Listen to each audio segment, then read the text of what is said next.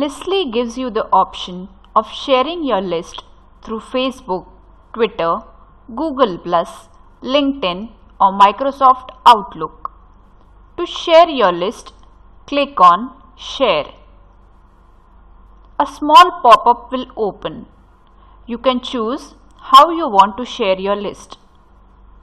For this example, we will be using Google Plus to share our list.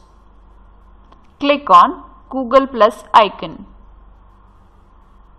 On clicking the Google Plus icon, a Share on Google Plus window will open. Click on the Browse People icon to select those you wish to share your list with. Once you finish selecting, click on Share. If you do not wish to share the entire list but only certain items in it, then click on Share this item icon on the bottom right hand in the item box. After you click this icon, you will get the same options that you received when you clicked on share to share the list. Select the medium through which you would like to share your list and then share it with friends or colleagues.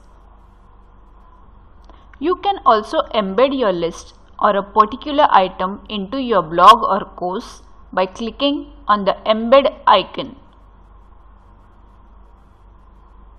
Once you click on the embed icon, a link will appear.